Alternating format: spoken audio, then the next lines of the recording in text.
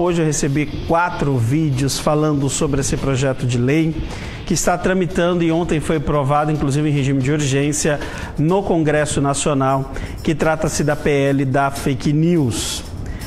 Muitos estão dizendo que seria a PL da censura. Eu vou pedir só para o meu diretor acessar ali a reportagem que eu mandei.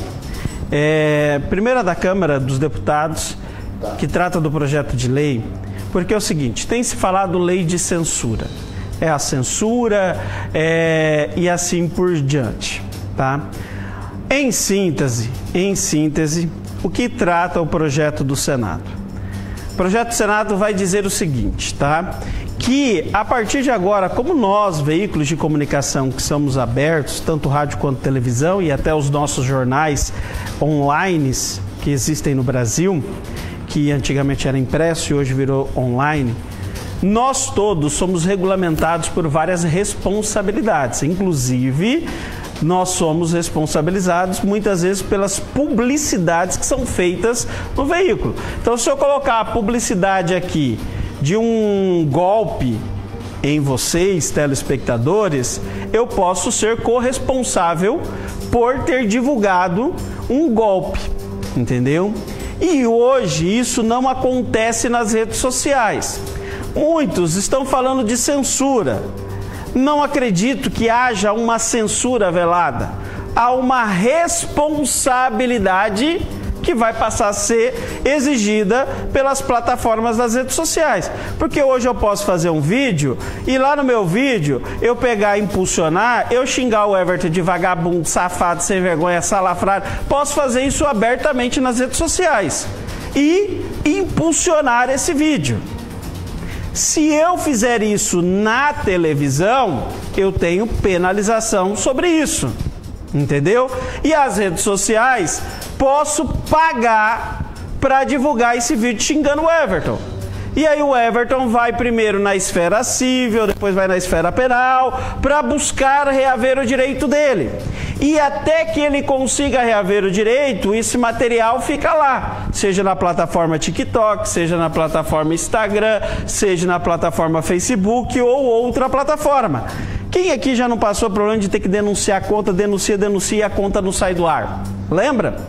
Então, o projeto vai responsabilizar agora as empresas por este material. Então, a liberdade de expressão ela vai continuar existindo. Você vai poder continuar falando como nós temos a liberdade de expressão na televisão. Só que nós temos responsabilidades para ter a, a liberdade de expressão. Então, falando de principalmente que seria censura, porque fala que agora vai ser responsabilizado. Então, aquele negócio de você ir lá xingar o outro sem prova nenhuma, sem prova nenhuma, sem documento nenhum, sem materialidade nenhuma, simplesmente a galera abre a câmera e começa a xingar, vai ser responsabilizado. E se a plataforma, eu pagar um vídeo, a plataforma não bloquear esse vídeo de ofensa, a plataforma vai ser responsabilizada junto. Outra coisa que vem direcionando é sobre os robôs. Os robôs de propagações, seja no Facebook, seja no Instagram, seja no WhatsApp. Agora, se eu pagar para um robô distribuir, a plataforma vai ser responsabilizada se ela descobrir, não descobrir que aquilo é um robô e continuar permitindo que aquilo aconteça. Pode chegar um pouquinho mais abaixo, que trata ali dos temas, tá? Os políticos. Os políticos têm muito falado da censura, papapá. Os políticos vão ter que informar qual é a sua rede oficial. Por exemplo, ah, eu sou político, eu uso o Instagram. Eu vou informar meu Instagram. No meu Instagram, a minha imunidade parlamentar ou a imunidade política de livre opinião, naquela minha conta informada, ela continua sendo estendida. Então eu vou lá no plenário, eu vou nas redes sociais, eu vou continuar tendo a imunidade. Só que o político vai ter que informar uma rede que ele vai usar.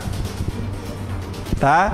Então, vai a PL vai direcionar e controlar projeto de lei sobre as contas falsas e robôs.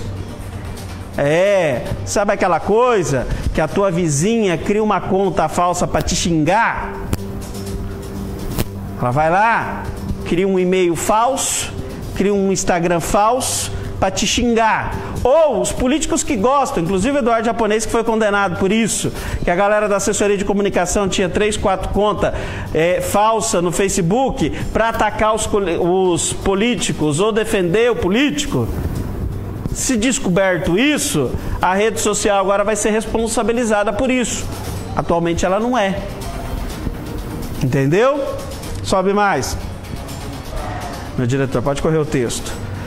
Essa questão dos envios de mensagens, essas mensagens eh, que são viralizadas por robôs e assim por diante, isso vai ser limitado a remoção de conteúdos. Quando identificado através da esfera judicial que um conteúdo é ofensivo, baseado nas nossas leis, automaticamente, através de decisão judicial, tá?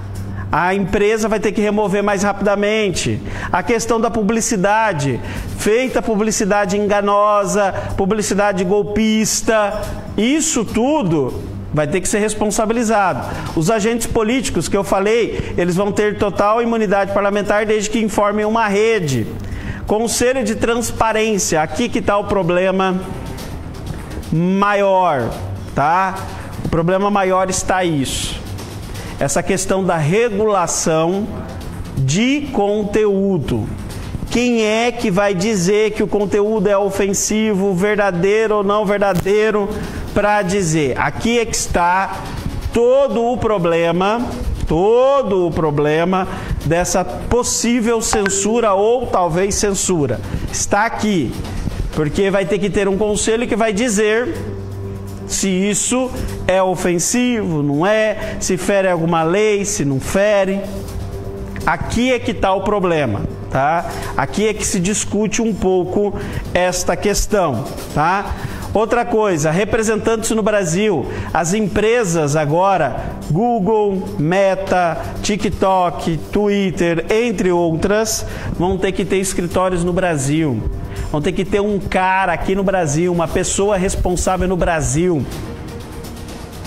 E as sanções que podem ser sofridas. Então, em síntese, gente, quando você falar do projeto de censura, essa questão ali do conselho pode ser que haja uma dupla interpretação ali, tá? Mas do restante, trata-se de obrigar as empresas de redes sociais a ter responsabilidades como nós, veículos de comunicação, temos. Nós também somos. Nós temos é, nós somos regulamentados. A nossa concessão, nós temos vários critérios para que nós che possamos chegar ao ar todos os dias na sua casa. As empresas têm que cumprir vários critérios de certificação. E a mesma coisa agora vai acontecer para as redes sociais, que também vão ser então regulamentadas, porque hoje está em terra sem lei. Hoje eu vou lá na rede social, eu faço um vídeo, eu xingo meu vizinho, eu xingo minha vizinha, eu falo mentira, eu invento que o Everton roubou. Eu estou usando o Everton, que é meu colaborador aqui da TV. Eu vou lá e faço: olha, o Everton acabou de me assaltar aqui em casa, levou tanto. Cara, quando eu, quando eu fizer isso na rede social, você recebe, vocês compartilham. O caso da menina que foi aqui de Vilhena, gente. Nós não, nós não vamos longe. Vamos aqui em Vilhena que em Vilhena, o que fizeram com a mãe daquela criança. Como se a mãe daquela criança tivesse algo, vários áudios suspeitos sendo compartilhados e recompartilhados. Postagem nas redes sociais atacando uma mãe. Não vamos longe. E sabe qual é a pena ou qual é a regulamentação disso tudo? Nenhuma. Sabe qual a responsabilidade que o Instagram, Facebook, WhatsApp, TikTok tem sobre aquelas mentiras que foram ditas? Nenhuma. Nenhuma. E o projeto de lei agora vem para dizer: calma aí, meu amigo. Você quer falar que o Everton é ladrão? Você pode até falar, mas você vai ser responsabilizado por isso. E a rede, que é o canal, como se fosse a televisão, que está permitindo que você faça isso, também vai ter que pagar o pato.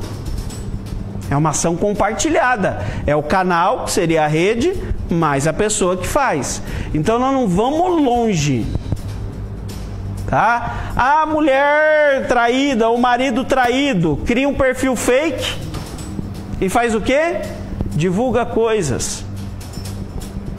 A rede social ela tem que identificar que o Elto não é o Elto e bloquear.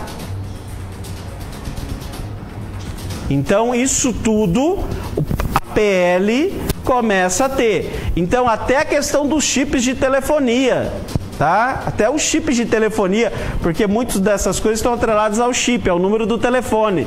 Até lá, lá diz até sobre o chip de telefone.